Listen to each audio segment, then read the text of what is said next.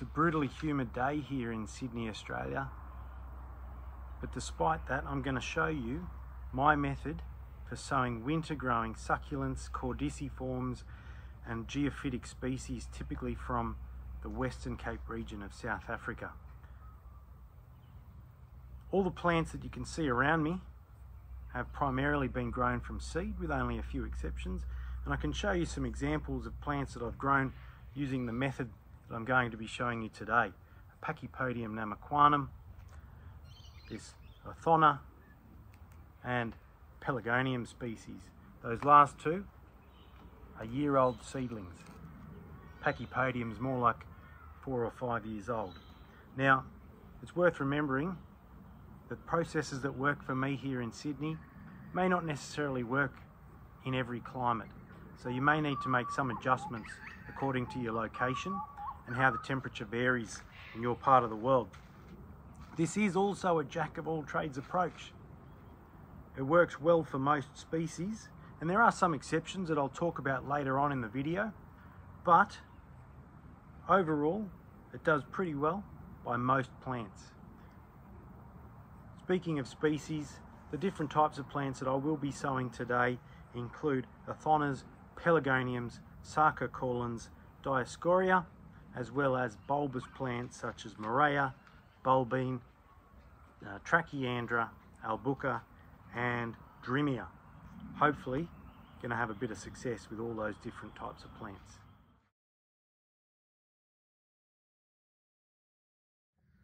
Now the first thing everyone wants to know about is soil. You can see here my typical soil mix that I use with seedlings. The most important thing is that it needs to be gritty, all right? You can see pretty high mineral component in this.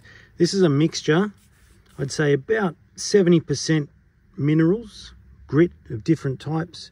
There's some pumice, there's some granite, there's a bit of akadama and zeolite in there. Doesn't need to be this complex. I just like how it looks. And then the other 30% is an organic store-bought bagged uh, seedling soil.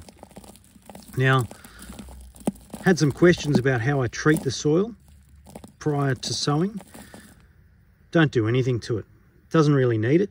Um, there may be some uh, fungal activity in here, but realistically, I've never had an issue. So I try to avoid microwaving.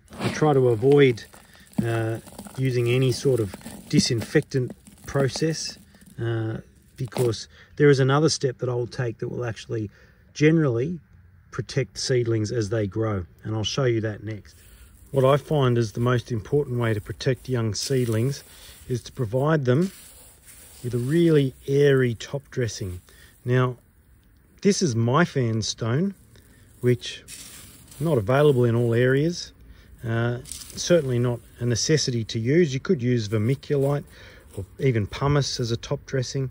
Um, but what I'll be doing today is after I sow the seeds, I'll apply a layer of this top dressing. Now, I've sifted it and washed out any real fine particles. We don't want it to cake and solidify as a surface kind of crust on what we're doing. The purpose of this top dressing is to, first of all, create something of a barrier between the seedling itself and any pathogens in the soil. Realistically, I don't expect there'll be much to worry about anyway. Also provides a little bit of support to young seedlings. And the third thing it does is it retains moisture. It actually creates the humid environment that we're going to want to support seed germination. So really valuable thing to include when you are mixing up any sort of soil mix, make sure you have a good gritty mineral top dressing that you can apply to the surface. Now, I'm going to use this combined with my soil mix. You can see I've pre-potted a whole collection of soil mixes to do some sowing right now. I'm going to show you my process starting off with a packet of Othonna clavifolia seeds. Typically I find it's easiest just to pour the seeds out onto a little folded piece of paper. Hmm. Enables you to distribute them relatively easily. You can see the seeds in there and then give it a little tap and sprinkle them on the surface of the soil. Now, the size of the seeds will determine the depth that they need to be sown. Smaller seeds, like these ones, I will just surface sow and then cover with my topsoil. The really small seeds, such as a crassula seed, probably wouldn't even cover with any sort of grit. And I'll speak about that a little bit later on. Whereas larger seeds, you can bury to a depth of about the seed size. Not hugely important, but different seeds will have different requirements. Now, they've been surface sown, so I'm gonna get some of my top dressing and apply that now.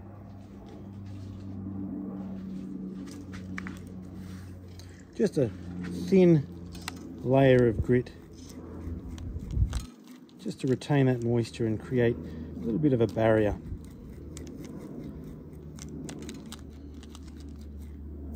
And that's it.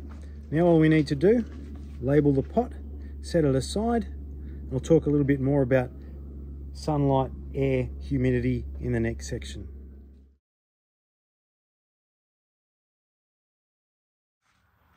So you've sown your seeds, ready to go. What next? How do we get them to germinate? There are three things that we need to give consideration to.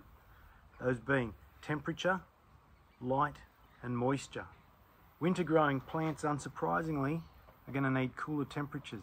Some of them you could germinate probably any time of the year. They'll come up and they'll grow according to the temperatures around them. Others are going to sit there dormant until particularly overnight temperatures start to cool down, reach an optimal range for their, their growth, and then they'll germinate. So it can be a waiting game at this time of year. When it comes to moisture, don't need to worry too much with that top dressing, it will retain a lot of moisture. So giving them a bit of a bottom water, planting, uh, putting the pots in a tray full of water and letting them soak up and sit there. Probably only need to do that twice a week to maintain that moisture level, that humidity around the seeds that will help them to germinate. And then lastly, in terms of sunlight, generally these species don't require light to, uh, to germinate. It's more in the aftercare. When they do germinate, you don't want them sitting in the blasting sun. A lot of these plants will enjoy a lot of sunlight when they reach maturity. But when they start off, you'll want to keep them in a relatively shaded spot out of that direct blasting, especially afternoon light, to help them to grow and build a bit of strength. Uh, and then sometimes it can be the second year or the third year that they can really take a lot of that sunlight, particularly in the, uh, the bulbous species. A lot of them really like a lot of sun to help get some of their unique forms.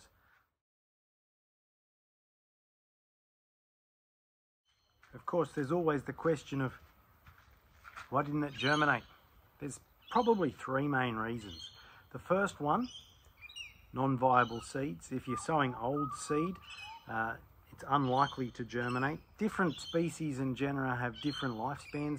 A lot of the uh, Aizoaceae family have got very long viability of seed, whereas things like an Albuca or uh, Eriospermum, if you're not sowing them in the year that they were uh, that they they flowered, realistically you might have trouble.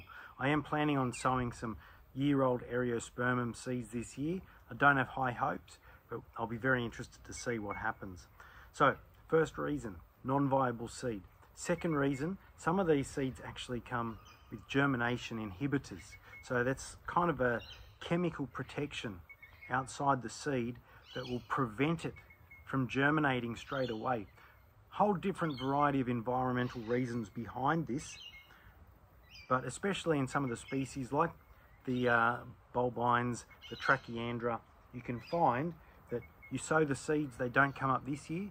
If you put the pots out again next autumn, they'll come up without any trouble whatsoever. Spring up like grass because that germination inhibitor has, uh, has gone away. And of course, if you get your cultural practices wrong, If the nights aren't cool enough, if you're not providing enough moisture, that can also be a problem as well. So three main reasons why your seeds may not germinate.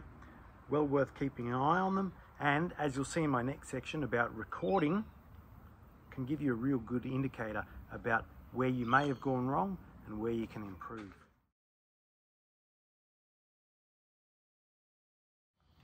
Now, from my perspective, one of the most important aspects of this is that process of experimentation and continual learning. How do you end up growing nice plants? Plants that look like this after a few years through practice and through trying different methods, learning, and of course recording what you do.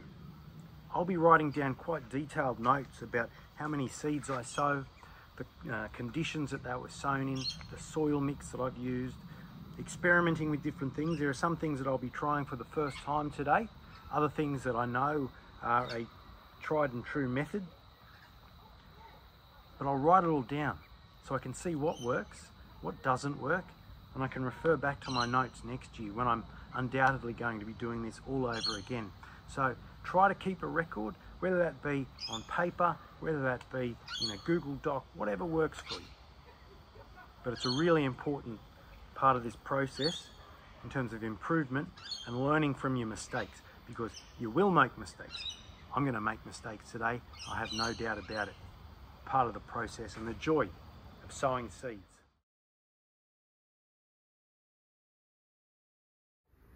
So, some species and genera specific advice. First of all, let's talk about pelargoniums and sarcocaulon from the Geraniaceae family. You can see here I've got two pots. One is short and squat and the other one is about twice as tall. These tall pots are for my pelargoniums and my sarcocaulon. They have quite deep and extensive root systems and if you don't enable them to grow into a deeper space, you'll stunt their growth. In addition to that, with sarcocaulon, you can see I've got quite a few pre-prepared tall pots. With sarcocaulon, I prefer to sow one seed per pot. They don't transfer well. Uh, you can prick out little pelargonium seedlings without too much trouble. But sarcocaulons get really sensitive their roots are very delicate and very fine, and so when you take them out of their soil, they generally uh, respond quite poorly. And so, for me anyway, I like to sow them into a pot that they can stay in for many, many years. Next on the list, a couple of plants that defy those temperature rules. I'm talking about Pachypodium namaquanum and Aloe pillansii.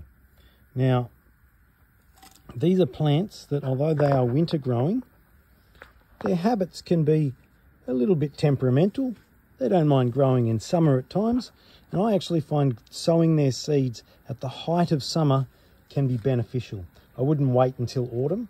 You can give them enough time to put on quite a bit of size before they go into their first uh, summer dormancy. This, for example, is a Pachypodium namaquanum that was sown earlier this summer. You can see it's already reaching a reasonable size and that I have no doubts will be fine in the six or seven months when it starts to go dormant. Meanwhile, this is an Aloe pillansii, which is about one year old. I sowed it last summer. Uh, it's just endured its first summer dormancy. Not a problem at all, as you can see, quite a decent size without any trouble uh, arriving out into our autumn at all. Um, so both of these species I'd be sowing in summertime and not worrying too much about autumn temperatures. They germinate fine in, uh, in high heat anyway. I actually use a heat mat to get the pachypodiums started. So something well worth knowing. Now if you're sowing plants in the Aizoaceae family, such as these Conophytum obcordellum, or gibbaeums. Uh, I've got some sceletiums that I'm going to be sowing today, or even uh, Urmuria, etc., etc. These are plants, their seeds are like dust, but you don't want to surface sow like I said earlier. You can actually cover them with a very fine layer of grit or sand. provides a bit of structure for the little seedlings coming through um, and, uh, and enables them to, to grow relatively well. So Aizoaceae, I wouldn't worry too much about surface sowing. Not too deep, you don't want to bury the seeds completely. Uh, a bit of air movement around them is fine. I'd be using uh, just a very thin layer of my uh, topsoil that I showed you earlier. And the last species that I'm going to speak to specifically now is Crassula umbella. I haven't sown a lot of different Crassula seeds, but I have sown Crassula umbella. I don't have an example to show you because they haven't emerged from their summer dormancy just yet. Had mixed success, to be honest, sowing these seeds. So this year I'm going to be trying something new. Um, in the past I've sown them with success using a layer of top dressing. This year I'm going to be surface sowing them and putting them in a little plastic baggie. Maintain that high humidity. You'll definitely want to keep these ones in the shade in, in their natural environment. They do grow in kind of shaded crevices so they won't like any direct sun whatsoever. Um, but maintaining a high humidity, the seeds are incredibly fine, just like dust almost impossible to see to the naked eye. Um, so I'll be following through and hoping that a new method, like I say, experimentation is the key. Uh, a new method bears more consistent results than those that I've had in the past. We'll see how we go. So that's my process. Hopefully it made sense. Hopefully it works out for you. If you've got any questions, shoot me a message in the comments here or on Instagram at bayou.bros.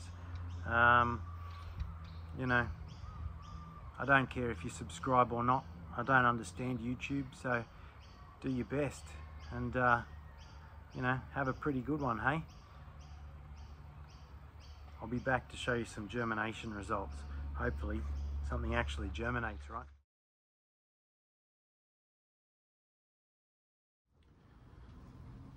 This is a little postscript now showing the effectiveness of the method that I've used. It's been about two weeks since I sowed those seeds and it's been unseasonably warm in Sydney which has probably slowed germination down a little bit. Some of the species that I sowed prefer cooler temperatures, particularly overnight. However, there has been some germination that's taken place. About four days after I sowed those seeds, the first seedlings started to come up. The first one that I noticed was Sarcocaulon multifidum. And you can see, here's one example of a little, little seedling. Uh, at, sitting at about 75% germination overall in terms of sowing this one. Also, very quick to come up, another Sarcocaulon species, and this was Sarcocaulon patersonii. Uh, not as high a rate of germination, but still uh, seedlings coming up even now. Staying within the Geraniaceae family, we've got some Pelargonium seedlings. You can see here uh, Pelargonium crassicaule, uh, which have successfully germinated. And then moving well outside of that, we've got a range of other things. There is, and it might be hard to see because it's quite small, but that's an example of Crassothonna sparsiflora which is a species that I know nothing about, as well as a few other little curiosities. I've got some albucas in here that are coming up, little grass-like things. Uh, I've had Drimia species also germinate, as well as uh, an Eriospermum, which I don't think I mentioned at the start of the video, uh, because in sowing those seeds, they were over a year old and uh, didn't think I was going to have any luck with them, but one of those has germinated as well. There are several genera that have not yet germinated. Bulbines, uh, probably key amongst them. That's because they need cooler temperatures. So I'm going to follow through later on. Uh, probably in two or three months I'll come back with another video just showing the overall impact of, of this method. But this is just a very early taste test of the efficacy of uh, my seed sowing method. So do what you will with it. Um, good luck, happy sowing, and, uh, and have a good one.